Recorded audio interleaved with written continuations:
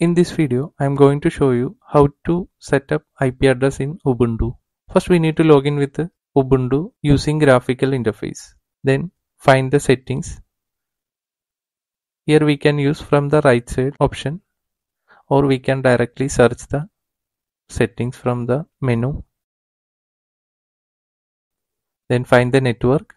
Here we can find the settings of network, wired network if it is wireless we can find the wireless as well as here I have only wired connections so only we can see wired then press the settings then IP manually select the IPv4 then manual then enter the IP address enter the net mask and the gateway of internet gateway IP then enter the DNS by default DNS will be automatic. If you want to enable can enter manually the DNS if we are having any manual route that means static route instead of automatic we can use manually.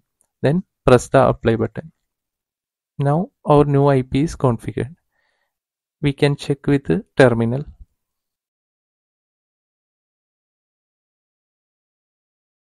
Here I am pinging to DNS IP